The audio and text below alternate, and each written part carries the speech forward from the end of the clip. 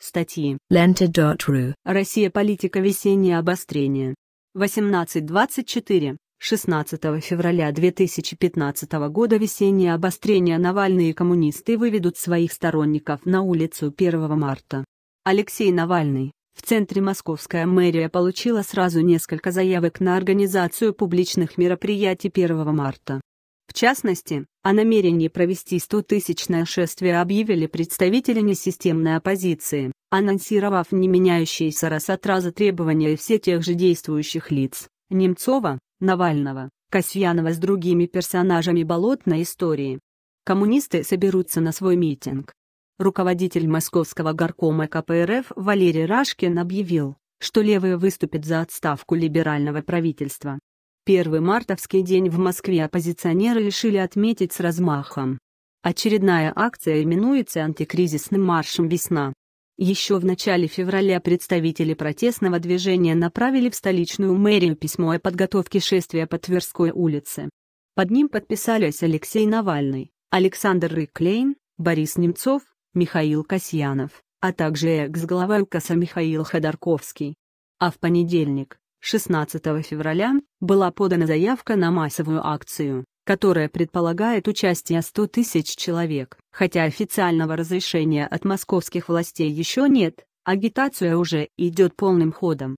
Накануне Немцов и Навальный лично раздавали в метро листовки с призывом присоединиться к шествию 1 марта. Последнего, правда, за попытку нарушения общественного порядка доставили в отдел полиции, Однако по старой доброй традиции через несколько часов отпустили.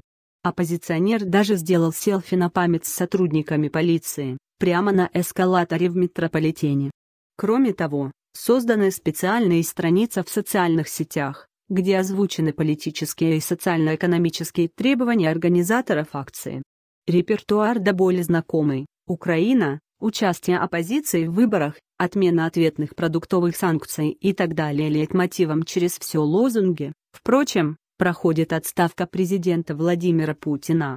В частности, на этом особенно заостряет внимание Борис Немцов.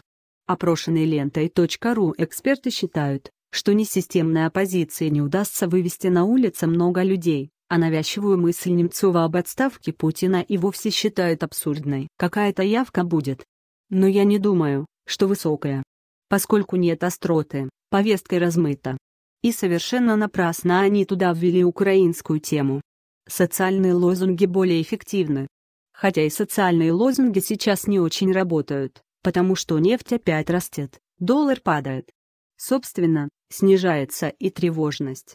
На мой взгляд, волноваться властям особого смысла нет, комментирует директор Международного института политической экспертизы Евгения Минченко. В Москве сложится контингент протестных групп в 3-5 тысяч человек, отмечает директор Центра политической информации Алексей Мухин. Они готовы выходить в любую погоду под любые лозунги, лишь бы потусоваться в центре и покричать власти в лицо разные обидные вещи. С учетом настроя и протестного потенциала этих групп такого рода марши не представляют интереса и не дают властям повода для беспокойства, поясняет эксперт. Однако, как отмечает Мухин, определенных целей оппозиция все же может достигнуть посредством провоцирования правоохранителей. Опасность и угрозу представляют протестные лидеры и персонажи, кто идет намеренно обострять конфликт с правоохранительными органами. Уже устоялась схема, когда этот контингент довольно быстро оказывается в автозаке, затем на него составляются протоколы и через некоторое время их отпускают, если не было совершено никаких преступлений или нападений на сотрудников правоохранительных органов.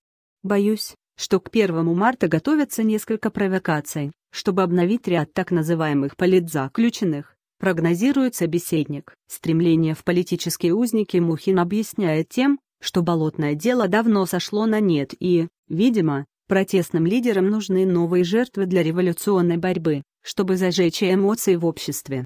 Вот в этом смысле марш представляет определенную угрозу. Но здесь политики ноль, только циничный расчет, резюмирует он. Идея об отставке Владимира Путина тем более, по мнению экспертов, выглядит бесперспективной. Допустим, вышли миллион человек на улицу 1 марта, чего не будет. Но даже если представить, что это произошло. И что? Путин на следующий день подаст в отставку? Может, лучше ставить перед собой реалистические цели? Задается вопросом Евгения Минченко. При этом собеседник напоминает, что в пик протестного движения, во времена маршей на Болотной и на Сахарова, у оппозиции не было антипутинских лозунгов. Там были лозунги за честные выборы, против Единой России, но не призывы об отставке президента. А сейчас они апеллируют к президенту, чтобы он ушел в отставку. Ну молодцы. Только вот у Путина рейтинги за 80%, подмечает политолог, и указывает на еще один интересный момент, как показывают все социологи. Столица подтянулась по уровню поддержки президента.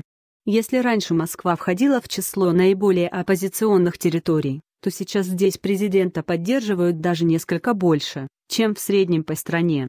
Так что я скептически отношусь к перспективам этого марша, анализирует Минченко. Встретить весну митингом задумали и коммунисты.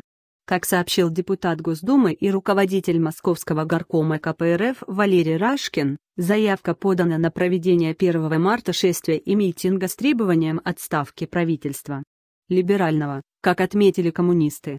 Помимо правительства левых не устраивает работа руководства Центробанка РФ. Шествие запланировано от Новопушкинского сквера по Тверскому и Никитскому бульварам, пешеходной части Нового Арбата, Новинскому переулку и Конюшковской улице.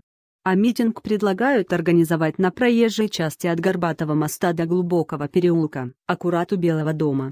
Впрочем, коммунисты готовы принять альтернативный маршрут от мэрии. Валерий Рашкин на шествии с 7 ноября 2014 года коммунисты еще меньше соберут.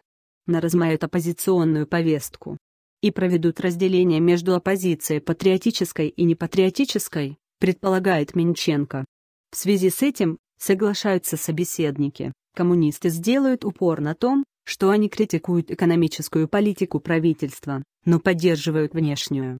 И акцентируют внимание на том, что для несистемной оппозиции это только предлог для капитуляции перед Западом по украинскому вопросу. Екатерина Петухова